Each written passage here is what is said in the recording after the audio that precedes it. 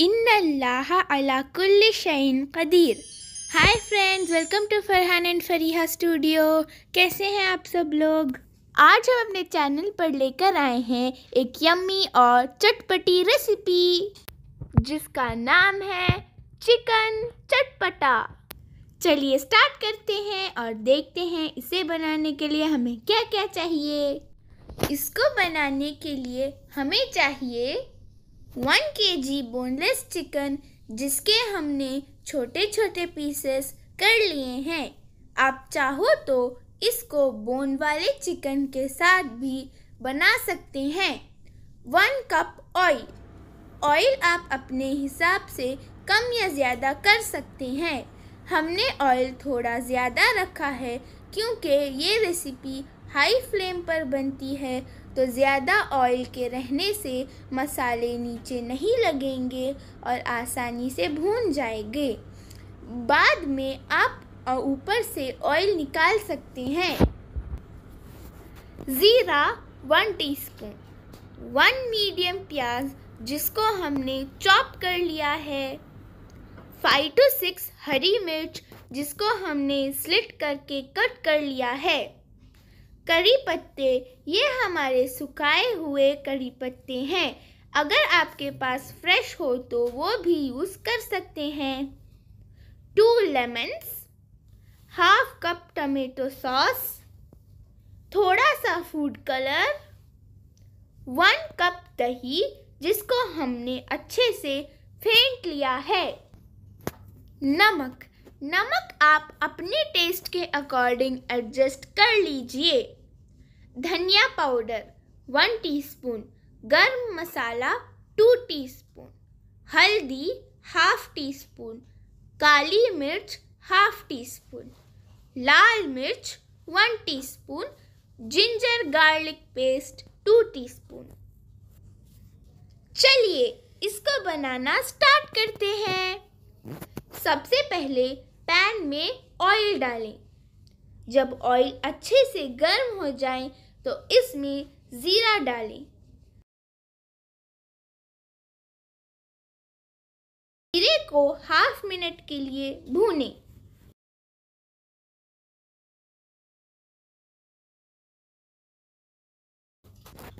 जब ज़ीरे की खुशबू आने लगे तो उसमें कड़ी पत्ते और हरी मिर्च डालें। और अच्छे से फ्राई करें।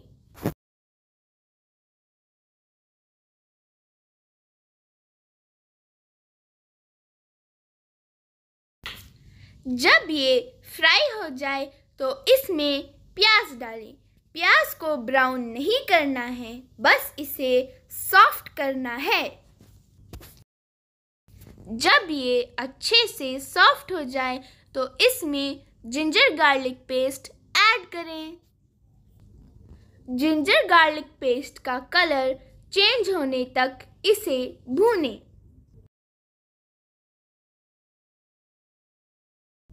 जब जिंजर गार्लिक पेस्ट भुन जाए, तब फ्लेम को हाई करके इसमें चिकन शामिल करें।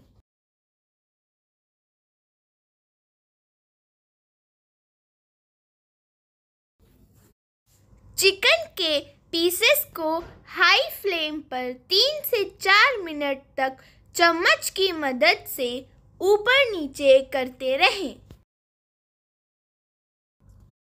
जब चिकन का कलर चेंज हो जाए तो इसमें फेंटा हुआ दही ऐड करें और मिक्स करते रहें। ध्यान रखें कि दही अच्छे से फेंटा हुआ होना चाहिए। दो मिनट अच्छे से मिक्स करने के बाद ढक्कन बंद कर दें और 10 से 15 मिनट के लिए छोड़ दें।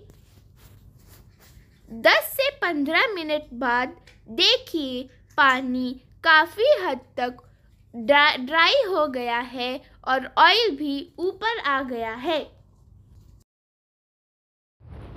इसमें सूखे मसाले शामिल करें, जो कि हैं हल्दी, लाल मिर्च, काली मिर्च, धनिया पाउडर, गर्म मसाला। हमने थोड़ा गर्म मसाला बचा लिया है, जो कि हम बाद में ऐड करेंगे। नमक और फ़ूड कलर डालकर अच्छे से मिक्स करें।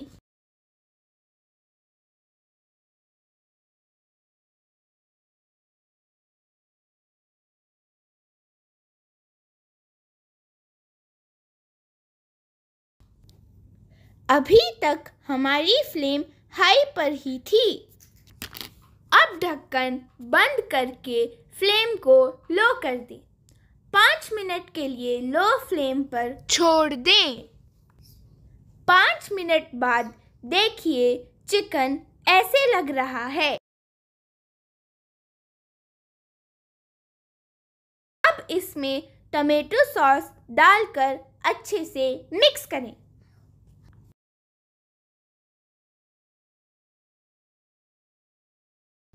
और दो मिनट हाई फ्लेम पर भूनें।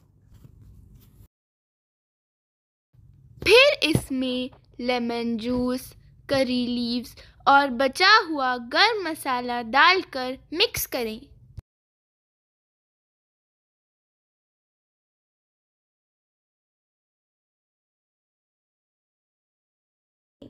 और मिक्स करके दो से चार मिनट ढक्कन बंद करके लो फ्लेम पर छोड़ दें। देखिए फ्रेंड्स हमारा चिकन अच्छे से सॉफ्ट हो गया है। अब ये सर्व करने के लिए रेडी है। ये देखिए फ्रेंड्स चिकन का फाइनल लुक